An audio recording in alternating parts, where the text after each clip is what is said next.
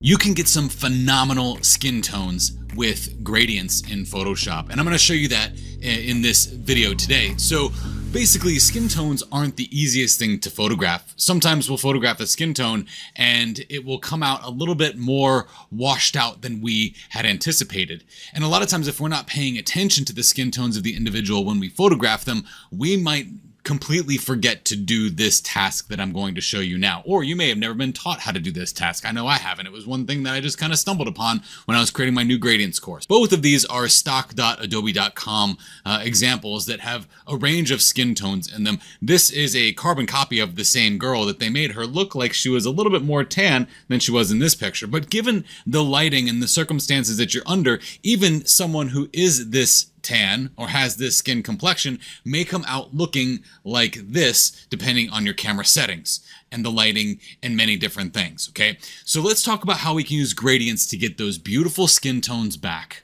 Now, let's first talk about different ways that we can select skin tones, and then I'll go into the gradient use. So what we want to do here is we want to select the skin tones of individual people. I'm just to do one of them at a time. So let's go to select, and I'm to go to this thing called color range. Now, there's two ways that you can select skin tones. You can either actually physically go up to the drop down and say, select skin tones, and then use the fuzziness slider here to make sure you get a good blend or spread of those skin tones. Or you can actually go into the sampled colors and you can make a color sample. And if you press and hold the shift key, you can make multiple samples of those skin tones or even change the fuzziness so it doesn't work so fast. So I want to make a good selection for all of the possible skin tones in this individual here. We'll move that down a little bit. That's not working out too well for me. Let's actually go and just say skin tones instead of trying to do it with these sampled colors. Either way can work and either way can produce similar results.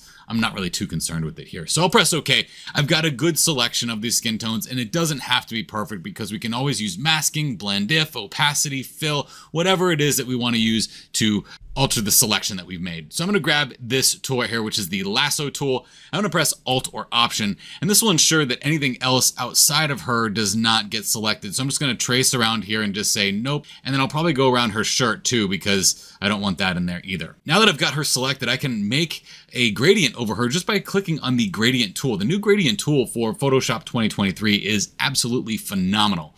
Now I like to do this as a radial gradient. The way I like, the reason why I like to do this as a radial gradient is I want, just like you see here, all of the faces have this nice wash or highlight on their face and then it transitions out into darker complexion regardless of their skin tone. Okay, so I'm going to do the same effect.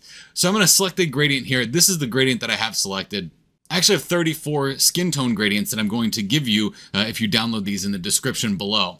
Uh, so I'm just going to start with, it can really be any gradient for that matter. So I'll just start with this one and then I'm just going to click and then drag on out so I get that spread around her face. Okay, so something like that. Now the gradient itself is not going to look good at first. We have to change this to a blend mode. Now I like to start with something like soft light because I think it does a good job of making uh, things darker and also making things lighter. If it's above 50% gray, going towards white, it's going to get brighter without getting 100% white. If it's below 50% gray, it's going to get darker without getting pure black. So if you think about that in terms of color here, we are adding this spread of color. It's not going to get to its pure potency of that color into the center of her face and then transitioning out into the darker color.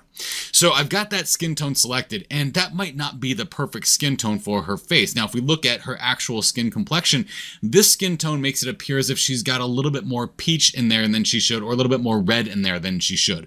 So I can either click through my gradients here that I have and make that maybe a little bit darker or uh, that doesn't work out very well. Let me go into maybe this one right here. Okay, that one still a little too strong. So I'm gonna have to go in and change the colors manually. So it's it's coming off a little bit too uh, red on the red side. So let's just double click this color here and then come through here. And instead of being in the reds, let's move more towards this area and get more of like a brighter kind of beigeish color. Like that'll work.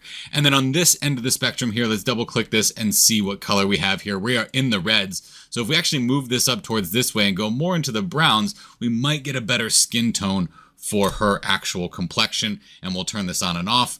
And that might be a little too strong especially for her skin complexion that seems to have a little bit of that peach in there. So let's blend this. We're going to go into the opacity and drop the opacity here and get about a good 50-50 split here. So what we're doing here is we're amplifying her skin complexion getting a more vibrant more rich color for her while at the same time drawing more attention towards the center of her face. Now you can use any skin tone that you'd like for this from my skin tone gradients. Let me go ahead and do that same thing again. So this time I'm gonna go to the background, I'm gonna go to select, I'm gonna go to color range, and then I've got the skin tone selected here. So I'm gonna bring this a little bit further. I'm actually gonna try and grab this lady right here in the center. So I'll press OK. That seems to be a pretty decent one. I'm going to use, again, the lasso tool. Press and hold Alt or Option to deselect things outside of that selection. So just kind of trace in between here because I just want her. I don't really want her shirt there either and then go up and around and I don't want her hair so I'll get around her hair as well. Now this selection doesn't have to be perfect because like I said we can fix this up with our, our blend modes, we can fix it up with blend if, we can fix it up with masking, we can fix it up with just about anything. So now that I've got her, I'm gonna go ahead again and get a gradient. And again, this time I'm using that radial gradient that we have selected right here. I'm going to use my drop down of gradients and for her skin complexion it looks like we might want to add a little bit of peach to her. She's got my Irish roots and has that pasty white color so she needs a little bit of color added to her. So let's go ahead and just like I said almost any gradient to start. Let's try this one at first okay and then we'll click and then just drag out again. We're going to make this spread to be where we want the the viewer's eye to go. I want the eye to go right here towards the eyes and nose first. So that's where the lighter color is going to go. And then as I drag this out, it's going to get darker. So I'm gonna, again going to start with something like soft light because I think that that's a really good blend mode to start with. And you can see here we've added a little bit of color to her skin. But again, her skin, now that I look at it, might have a little bit more peach-ish tones to it. And if that's the case, then I'll scroll down here, double click this color on the darker side of things, maybe make it even a, a more rich dark color, and then come down here more towards the peach colors here or into the reds to get more of a peachish kind of brown in those shadow areas. Now, if I go into the white side here, or the light side, I can actually change this to a um, a, a color that has a little bit more life to it rather than just being pale white because again, we want that pasty white skin complexion to get a little bit of life in it. Okay, so now let's turn the before and the after off on this one. So here's the before. So now let's turn the preview off on this one. Here's the before. Here's the after. There might be other areas in here that we might need to paint out. So I'm going to show you how I would do that with masking B for my brush tool and just use black to paint here on this. You can use almost any brush. I'm tip I'm using one of my blending brushes for that, but I can go ahead and just use one of my soft round brushes. When we use the uh, lasso tool to make to deselect things here, we went a little bit, uh, it's got like a hard edge on it, so we do need to go over those areas and fill those areas in. Uh, okay, so now let's take a look at the before and the after. Again, she's got a little bit more life to her. The soft light blend mode here might not be doing the best job for her though. So I'm going to change that to the linear light blend mode. And when I do that, you're like, ah, oh, gosh, like she spent way too much time uh, in, uh, in, a, in a tanning booth. Uh, so, especially here on her arms. Her face, maybe not so much. She must use some blocking cream there. But linear light doesn't use opacity. It typically uses fill for its algorithm. So as we drop the fill, we can get a better blend here. This will give us a more contrast while also bringing in some more color. But you see, we just get a little bit more life in her skin tones there. Probably a little bit more accurate to what her skin complexion might be. Here, her skin actually looks pretty dull and washed out, especially next to other individuals who have brighter or darker skin skin tone complexions. She's got a much brighter skin tone complexion. She's and these two obviously have much darker skin tone complexions. Whereas now we got kind of the best of both worlds. She's starting to not be so pasty white in this group. That that's one of my family members right there. So let me go ahead and zoom in here. It's not, it's a stock image. And I'm gonna brush with the color black over her eyes because some of it got into her eyes as well brush with black there and that will fix that up. So it's really simple. You just make a selection for those skin tones and then you add a gradient on top of that and you can do some wonderful things. Now you don't have to stick with the radial gradient like I have here. If we go into our gradient tool, we can actually make this a reflected gradient as well. And then you can kind of have like this light beam of sorts where the lighter portion is right in the middle and it's going to transition out into darker skin complexion there uh, like this. Okay, and we can dictate that spread by just clicking and holding and moving that over. We can press and hold shift to maintain a straight or 15 degree increments as we go around.